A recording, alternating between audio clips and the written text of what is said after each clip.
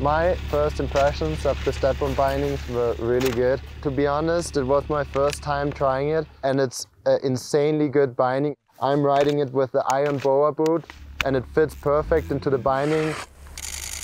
You can hit big jumps, big rails. Also carving felt amazing. It's just insanely easy to use. You can ride it basically everywhere. It's just a pleasure to ride.